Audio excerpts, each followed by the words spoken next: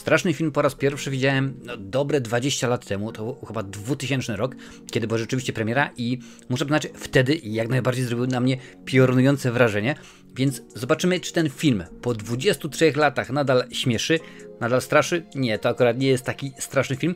Czy można go obejrzeć i w ogóle, czy ten film dobrze się zestarzał?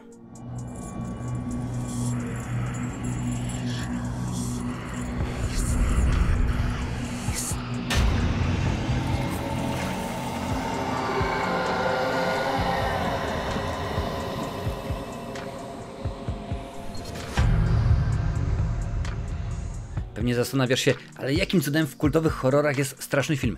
No bo ten film po części to jest horror. Ważna rzecz to nie jest horror, który próbuje być śmieszny, to jest komedia, to jest parodia, pastisz filmów strasznych jak najbardziej. Zresztą w ogóle straszny film, taki był pierwotny tytuł y, filmu Krzyk Wesa Cravena. Najpierw był straszny film, ale potem stwierdził, mm, jednak nie pasuje rzeczywiście. Więc stąd się pojawił, y, stąd się pojawił ten tytuł tutaj i w sumie może być, powiem szczerze. Fabuły nie, zdradzać nie będę, jest ona typowa jak 100 innych y, straszaków, horrorów. Mamy tak, dzieciaki i ktoś ich próbuje zabić. Oni się oczywiście bronią w najgłupszy z możliwych sposobów. Wyobraź sobie, co tylko głupiego możesz, jeżeli gonicie yy, psychol, tak? I chcecie sprzątnąć i masz do wyboru yy, pistolet, nóż, granat i banana. No to oczywiście, że, że bronisz się bananem i tak dalej, i tak dalej. Oczywiście tutaj tak jest. Może, może zacznę od, od, od fabuły, bo rzeczywiście bracia Wyansowie, bo oni są głównie odpowiedzialni za, za tenże film. Nie jedyni, bo nawet sprawdzałem przed chwilą, to jest połączenie, ten film to jest połączenie dwóch scenariuszy, które trafiły do Dimensions. Dimensions to jest akurat wytwórnia, która, no co tu dużo mówić, mm, wyprodukowała straszny krzyk, aż mi tutaj uciekł. Straszny, straszny film, wróć, krzyk. I rzeczywiście jest to połączenie dwóch scenariuszy. Pierwszy autorstwa braci Wyansów. Last Summer I Screamed Because Halloween Fell on Friday the 13 czyli nawiązanie oczywiście do Halloween piątku 13 krzyku i y, koszmaru innego lata, czyli e, ostatniego lata y, krzyczałem, ponieważ Halloween wpadło w piątek 13 i to był y, scenariusz autorstwa właśnie braci Wyansów i drugi scenariusz Scream if you know what I did last Halloween, czyli krzycz jeśli wiesz co zrobiłem ostatniego Halloween autorstwa Jasona Friedberga i Arona Selzera. Między innymi tych dwóch panów jest odpowiedzialnych za y, Date Movie, Epic Movie i tak dalej, i tak dalej, wiele tych, wiele tych parodii i z połączenia rzeczywiście tego wszystkiego powstał y, tenże film i fabularnie, no tutaj nie ma nic nowego, nic odkrywczego, jak najbardziej. Główną, tak naprawdę kanwą, pomysłem jest krzyk, jest właśnie parodia przede wszystkim tego filmu i jest wplecionych w to mnóstwo innych mnóstwo innych produkcji. W ogóle daj mi znać, ile i jakie produkcji naliczyłaś, naliczyłeś oglądając ten, y, ten film, oczywiście parodii. Ja się doszukałem y, takich tytułów, oprócz oczywiście Krzyku, jest jeszcze y, Koszmar minionego lata, Szósty Zmysł, Piątek 13, Blair Witch Project, Matrix, Titanic, Usual Suspect, to jest chyba Podejrzani, Brena Singera, a także Amistad oczywiście. Więc jeżeli masz inne tytuły albo więcej, pisz mi w komentarzu, bo jestem ciekaw, co przegapiłem. Może, bo rzeczywiście jakaś się pojawiła, y, pojawiła produkcja, której nie, nie dostrzegłem. No i tutaj nie ma niczego nowego, niczego odkrywczego. Jeżeli chodzi o humor, no to tak się zastanawiałem, bo mówię, ten film ma już 23 lata, dokładnie 23 lata w tym roku minęło i stwierdziłem, ok, wtedy mi się rzeczywiście bardzo podobał, wydawało mi się, że był bardzo, yy, bardzo śmieszny, mimo że humor, który tutaj dostajemy jest bardzo wulgarny. Słuchaj, bracia Wyansowie nie ma, naprawdę nie ma dla nich świętości. Rasa, yy, preferencje seksualne, yy, waga, kolor skóry, wszystko. Jedziemy po wszystkim i po wszystkich równo. To nie tak, że o, wzięliśmy się tylko na, na facetów, a kobiki zostaw... Nie ma problemu, wszędzie jadą porówno. No i e, rzeczywiście ten humor jest już w pewnych momentach bardzo nie, nie, niesmaczny i zauważyłem, że albo ja się zestarzałem, albo ten film się bardzo źle, bardzo brzydko zestarzał i mi się wydaje, że akurat ta druga opcja, ponieważ coś, co mnie śmieszyło kiedyś, rzeczywiście bardzo było według mnie zabawne. Tym razem, no tak już niekoniecznie, nie, niespecjalnie. Pewne żarty były po prostu przegięcie. To rzeczywiście było zbyt dużo, zbyt y, niesmacznie. Kilka oczywiście nadal śmieszny. No ta, y, ta przeróbka, parodia, ta reklamy Budweisera, ta what's up, cały czas. Jak dla mnie jest y, fajna scena w garażu, kiedy to jedna z, z dziewczyn postanawia uciec. W ogóle jak będziesz oglądać, przyjrzyj się produktom markowym Nieważne jakie, po prostu prawie każde, a naprawdę 99% zostało zmienione. Mamy piwko i to jest bodajże firma Miller, zostało zmienione na Killer. mamy jakieś tam piwo chyba Colt zmienione na Kult i tak dalej, i tak dalej. Oczywiście, żeby to wszystko jak najbardziej puścić oczko a przy okazji, żeby można było y, jakoś tam y, zagrać. I to jest, to jest rzeczywiście zrobione dobrze. Więc ten humor y, już w tym momencie mnie nie śmieszy. O ile, no wiadomo, że chociażby Kevin Smith również podobnego rodzaju powiedzmy humor preferuje, tam mimo wszystko cały czas jest dla mnie ten poziom zachowany. Tutaj rzeczywiście to y, na jakości y, spadło, straciło.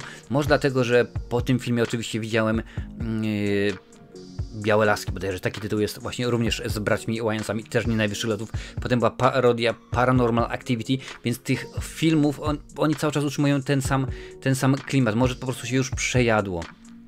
Little Guy, bo to taki jeszcze był, co tam jeden z braci właśnie grał takiego kurdupla, yy, no nieważne. Więc rzeczywiście humor nie, niespecjalnie mi się, mi się podoba, mimo że tak jak mówiłem wcześniej, są sceny, które są, yy, które są zabawne mimo wszystko.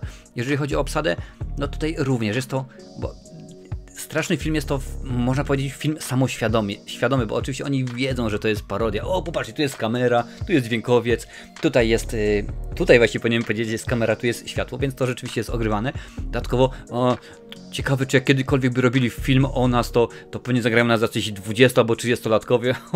no wiadomo, to jest w ten sposób zrobione, że no musi być yy, polewka z tego, ale jak się możesz domyśleć, bardzo często to ma miejsce w Hollywood i tak samo było i tym razem, że nie dostaliśmy pierwszego wyboru.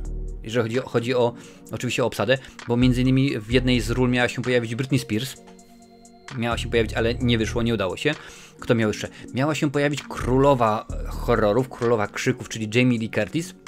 Scena, kiedy mm, Anna Faris, czyli Cindy, ucieka przed, y, przed naszym Ghostface'em i otwiera szafę, to miała właśnie być, y, miała być Jamie Lee Curtis. Dobrze kojarzysz z pierwszego Halloween, no ale coś, coś się niestety nie zgrało i nie udało się, a szkoda, rzeczywiście mogło, mogło być fajnie.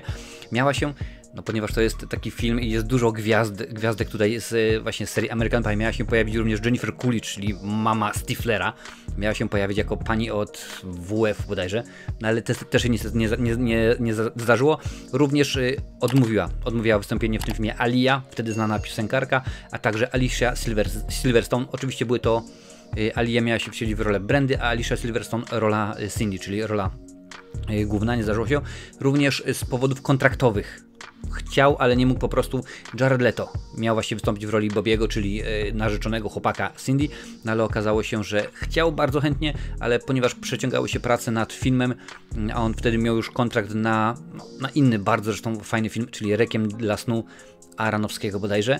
No i powiedział, słuchaj, bardzo chętnie, ale niestety ci się nie udało. No i dostaliśmy taką obsadę, jak, jak dostaliśmy. Pracowało przy filmie, yy, przy scenariuszu dwóch braci, trzeci Keenan Ivory Wyans reżyserował i też się pojawia bodajże właśnie w tej scenie z, z Amistadu. Więc obsada, no, do takiego filmu nie potrzebujemy nic, nic wybitnego, nie ma, nie ma jakiejś tam, e, nie ma takiej tam e, potrzeby, więc rzeczywiście jakoś to wygląda w miarę, muszę przyznać, e, sensownie, jeżeli chodzi, chodzi o, o obsadę, no bo tak naprawdę chodzi o, o brechanie się, o jazdę, a horror, horror to jest akurat tylko i wyłącznie gatunek, który postanowiono sparodiować i nic więcej, więc ten film, jeżeli chcesz, nie, nie, on w żadnym w ogóle aspekcie nie straszy, mimo że mamy jakieś tam zgony, ktoś tam poległ jedna, druga, trzecia, trzecia osoba, ale to w tym filmie głównie nie o to.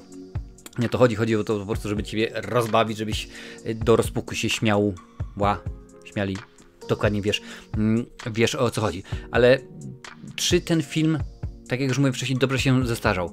Według mnie nie tak dobrze, jak ja go zapamiętałem. Rzeczywiście dużo lepiej y, dla mnie wyglądał. Zresztą widzisz, mam fajną y, popcornową paczkę. Jeżeli chcesz kupić sobie Oczywiście straszny film, to w opisie będzie, będzie link do, do Amazona, możesz sobie yy, tak obejrzeć, kupić, nabyć drogą kupna, jakby powiedziała siostra Anastazja yy, i zobaczyć, czy rzeczywiście po 23 latach ten film się yy, dobrze zestarzał, czy tylko po prostu według mnie tak jest.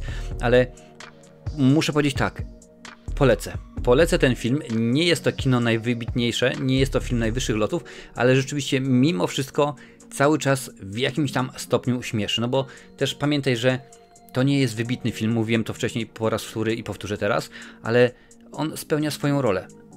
Ma po prostu nas tam w pewien sposób yy, zabawić. To, że akurat wybrali humor klozetowy, to akurat do tego Wayne nas już yy, przyzwyczaili. To samo jak wiesz, no, głupi głupszy jest, jak mówiłem, są filmy Kevina Smitha i tak dalej, i tak dalej. Więc yy, może być.